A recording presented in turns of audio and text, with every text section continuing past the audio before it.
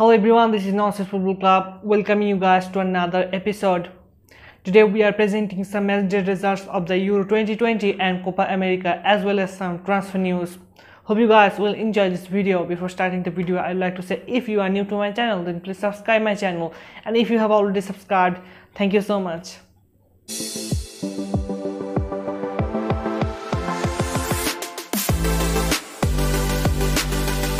I'm starting with the matchday results of Euro 2020. Sweden have beaten Slovakia by 1 goals to nil. Emil Forsberg scored for Sweden. Croatia have drawn against Czech Republic by 1 goals to 1. Ivan Perisic scored for Croatia and Patrik Schick scored for Czech Republic. And England have drawn against Scotland by nil-nil.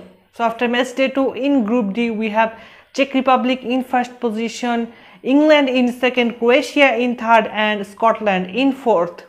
Now Copa America matchday result. Chile have beaten Bolivia by 1 goals to nil. Brereton scored for Chile.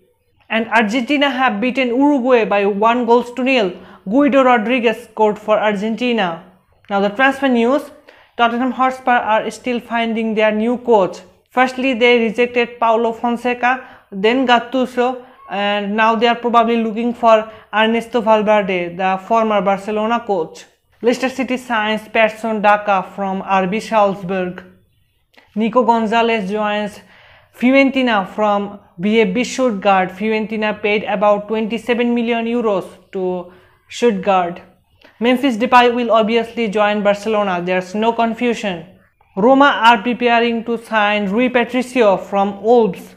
If Rui Patricio leaves Wolves, then they will sign Jose Sa as his replacement.